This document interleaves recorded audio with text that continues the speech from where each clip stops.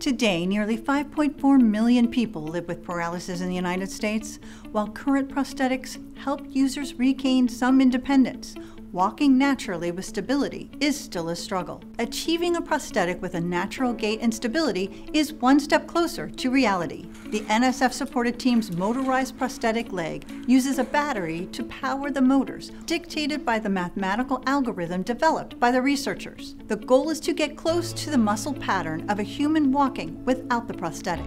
During testing, the team was surprised to find how quickly their prosthetic leg developed a stable walking gait.